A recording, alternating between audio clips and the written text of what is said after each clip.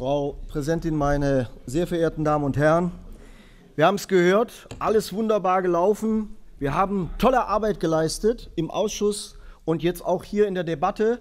Nur allein äh, im Kern verändert sich gar nichts.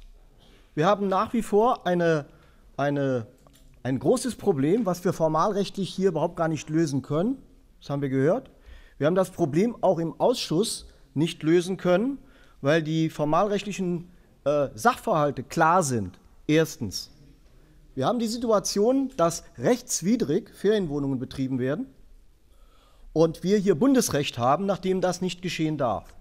Zweitens, wir haben die Situation, dass die Leute, die in diesen Gebieten ein Haus gebaut haben oder die dort als Mieter wohnen, im Vertrauen auf das Recht dort ihr Geld investiert haben, um sich etwas zu erfüllen, von denen sie träumten. Ein kleines Häuschen, Eigentum.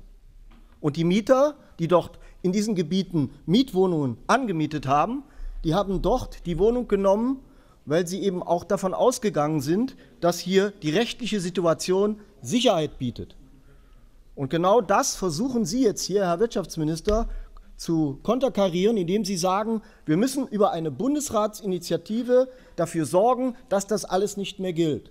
Das heißt also, Sie wollen hier etwas schaffen, im Nachhinein schaffen und damit Leuten, eine, die im guten Glauben investiert haben, dort in diesen Gebieten, eine Situation kredenzen, möchte ich mal sagen, äh, die sie, äh, die sie vorher überhaupt gar nicht auf der Rechnung haben konnten, weil die Gesetze klar aussagen, dass das nicht geschehen darf. Punkt. Das ist der erste Punkt.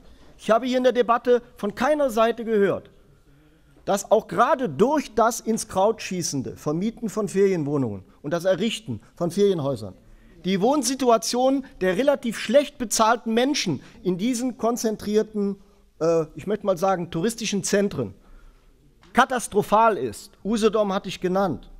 Ich hatte meinen Bekannten da auch angeführt, der dort ein kleines Hotel führt und der sagt, auch für uns ist, für die, Hotelli für die Hoteliers, ist es immer schwieriger, wenn immer mehr Ferienwohnungen kommen, mit unseren Investitionen überhaupt noch zurechtzukommen, weil im Schnitt die Hotels mit einer Eigenkapitalstruktur von unter 15 Prozent doch diese Hotels betreiben müssen.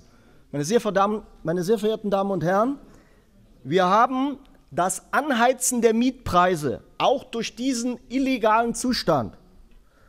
Und es ist auch keine Lösung, wie das hier angedeutet wurde, dass hier das Wirtschaftsministerium äh, Handlungsleitfäden herausgibt, weil das das Problem nicht löst. Und es ist auch keine Lösung, wenn man ganz bestimmte Verfahren ruhen lässt, aussetzt oder erst gar nicht beginnt, weil damit auch für die Leute, die zukünftig Ferienwohnungen errichten wollen, in eine Situation gebracht werden, dass sie vielleicht ihre Investition verlieren, weil am Ende durch ihre Bundesratsinitiative beim Bund sich gar nichts bewegt, weil ganz einfach äh, da die Einsicht hoffentlich herrscht, dass wir hier eine Zersiedlung von klaren Richtlinien, formalrechtlichen Richtlinien, äh, hoffentlich nicht durchsetzen können. Das ist natürlich hart für die Leute, die investiert haben in Ferienwohnungen.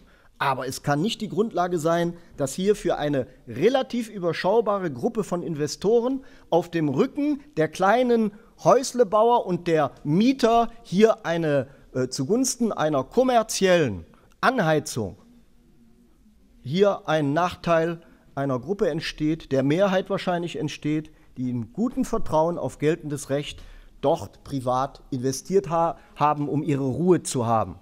Meine sehr verehrten Damen und Herren, wir machen bei diesem faulen Kompromiss nicht mit, weil das nichts anderes ist als ein Prolongieren eines Zustandes und damit vorzutäuschen, dass hier eine Lösung kommt mit Hilfe des Wirtschaftsministeriums und mit Hilfe dieses äh, sogenannten Hohen Hauses. Mitnichten, weil die Kompetenz, die gesetzgeberische Kompetenz überhaupt gar nicht in den Ausschüssen liegt, nicht hier in den Fraktionen liegt und erst recht nicht im Landtag. Insofern, was Sie hier machen, ist mal wieder ein Rumgeeier. Sie täuschen eine formalrechtliche Kompetenz vor und Sie täuschen vor, dass Sie hier etwas konkret verändern könnten, was objektiv nicht vorhanden ist. Und das wissen die Leute, die Ferienwohnungen gebaut haben, ganz genau. Deswegen versuchen die natürlich fachliche, rechtliche Kompetenz nicht bei Ihnen zu suchen, nicht hier im Landtag zu suchen, sondern bei Juristen und Gerichten, wo, was wir sehr unterstützen. Und ich empfehle auch den Häuslebauern und den Mietern, die mittlerweile schon 8, 9, 10 Euro zahlen müssen, durch diese touristische Situation, äh, zum Beispiel auf äh, Usedom und auch in Kühlungsborn, äh, dass die dann auch den gleichen formalrechtlichen Schritt tun, durchklagen, dass wir am Ende wieder eine klare Rechtsposition haben, wonach dann die Häuslebauer, Häuslebauer wissen, worauf sie sich einlassen, die in Zukunft bauen wollen und die, die in der Vergangenheit gebaut haben, auch ihre Rechtssicherheit äh, bekommen. Was Sie hier abziehen, ist Sand in die Augen streuen der Menschen. Sie wollen sie bei der Stange halten. Die Linke versucht das. Ich wundere mich, dass die Linke das Mietargument nicht gebracht hat. Die CDU sowieso, die will ja everybody's darling sein. Und von den Grünen rede ich jetzt mal nicht, weil die nehme ich mit der Argumentation, die wir von ihrem Fraktionsvorsitzenden hier eben gehört haben, gar nicht ernst. Wir lehnen das ab, nicht äh, weil wir kein Verständnis für die Häuslebauer und die Ferienwohnungserrichter haben, sondern weil sie hier einen Betrug an ihren Wählern betreiben wollen. Da machen wir als oppositionelle Nationalisten nicht mit. Vielen Dank für Ihre Aufmerksamkeit.